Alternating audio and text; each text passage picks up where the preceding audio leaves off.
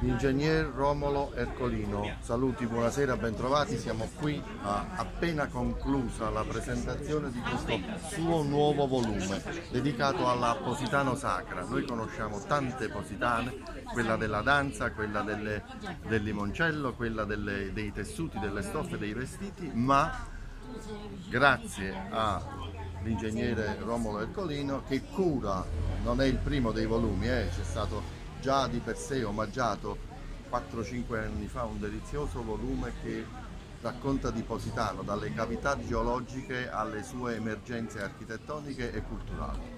Com'è andata la serata? Bene, possiamo Soddisfatto? Sì. Questo libro che cosa contiene? Ce ne volete parlare? Praticamente è un approfondimento dello studio di Positano città verticale.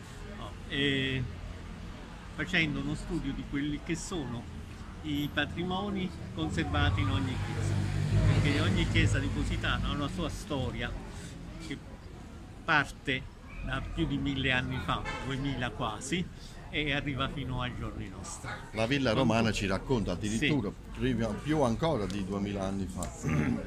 E i vari insediamenti che si sono avuti qua a Positano, eh, le varie vicende storiche con eh, l'arrivo di profughi, prima da Pestum, prima ancora dai monaci basidiani, poi dai pestani che sono venuti dopo la distruzione di Pestum da parte dei saraceni e fino ad arrivare poi alla, alla diaspora tra le due guerre con l'arrivo di tutti eh, gli esuli russi e poi tedeschi, prima russi e poi tedeschi, per cui praticamente abbiamo... Ognuna di queste ha portato la sua ha portato, sì. ha portato i suoi santi, le sue devozioni. Sì.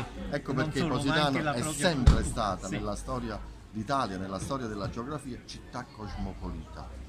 Non solo, io eh, tra gli ospiti eh, che abbiamo avuto qua a Positano c'è stato lo scrittore Sad Bey, lo scrittore ad, qua. Sì, sepolto qua a Positano, su cui ho scritto un libro.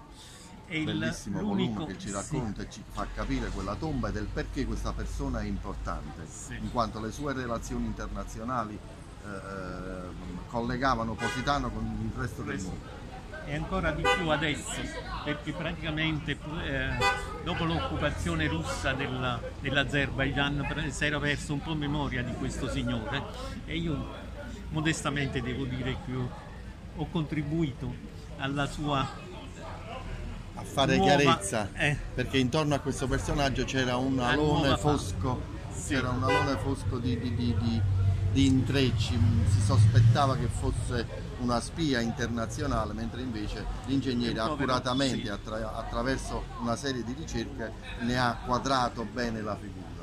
Di un povero ammalato che era venuto qua a Positano per curarsi eh, sperando infatti, di... No. E un parente di Esad Bey eh, aveva detto che Positano proprio perché aveva avuto tutti questi esuli, aveva accolto questi esuli perché poi qua sono stati accolti praticamente eh, come fratelli, si può dire, e bisognava che Positano fosse nominata come città dell'accoglienza, no, cosa che io avevo pure sempre chiesto di fare, ma che purtroppo non è stato fatto. E, e come dicevo, insomma, tutti questi che sono stati qua, che poi pittori, eh, scrittori e tutto il resto hanno sempre lasciato qualcosa di loro e, e ci hanno arricchito. Non solo spiritualmente ma anche diciamo certo, culturalmente certo, con tutto quello che loro hanno lasciato a Positano. E e tutto il resto ma soprattutto la cosa più importante hanno fatto conoscere Positano in tutto, tutto il mondo hanno reso se, se, se adesso conosciamo Positano per quella che o meglio se il mondo conosce Positano è proprio grazie a questi. E se il mondo viene qua perché sì. è attratto da questa serie di sì. piccole segnalazioni che sono partite dalle tante presenze. Noi la ringraziamo, gli facciamo i nostri omaggi. Grazie. Sono Grazie sicuro che nel vostro, sulla vostra scrivania già eh, state eh, pensando e eh, proiettandovi per qualche altra pubblicazione. Sì, ce ne sono già. Grazie di cuore. Grazie, Grazie di cuore.